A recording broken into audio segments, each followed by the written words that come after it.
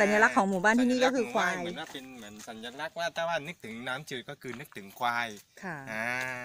แล้วก็กิจกรรมหลักๆ ของที่นี่ก็คือ สี่อย่างครับอ่าซดกาแฟแลควาย นั่งห้อยขาแล้วก็นาต้นเนะๆนามันบุรุษที่ว่ากิจกรรมเกี่ยวกับการทำนาทั้งหมดอ่นาโต๊ะแหน่แหน่ครับผมก็แปลว่า นาบรรพบุรุษ นาบัมพบุรุษ มันเป็นภาษาอะไรคะมันเป็นภาษา เป็นภาษาอะไรครับผู้ช่วย ภาษาท้องถิ่น อ๋อ อ่าครับผม นา โต๊ะแหน่โต๊ะแหแหน่น่แหน่ก็คือที่จริงมันเป็นภาษามาลายูอะครับ มันโต๊ะแหน่แหน่ก็คืออ่าบรรพบุรุษปู่ย่าตายายที่เขาสืบทอดต่อๆกันมา ทอดการทำนาต่อก็คือนาเนี่ยเขาจะสืบทอดกันรุ่นต่อรุ่นเขาจะไม่ค่อยขายกัน เป็นเหมือนกับเป็นเครื่องมือทำทำมา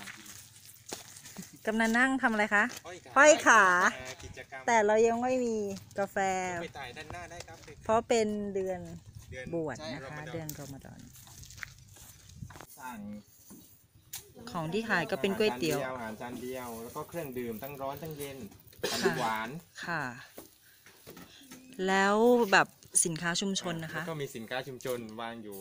ตัวอย่างอะไรบ้างคะเช่น พวกข้าวพวกอ่าทั้งหมดเลยครับ ที่ระลึกต่างกองที่ระลึกปฏิปันธ์โฮตอบทั้งหมดเลยการโอตกจะขายในตัวขายนักท่องเที่ยวที่มาทานอาหารอะไรพวกนี้ครับอ่า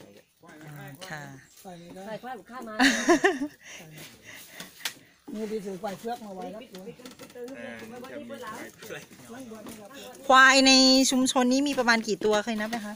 ประมาณตอนนี้ก็สองร้อยแล้วมั้งสองร้อยเยอะมาก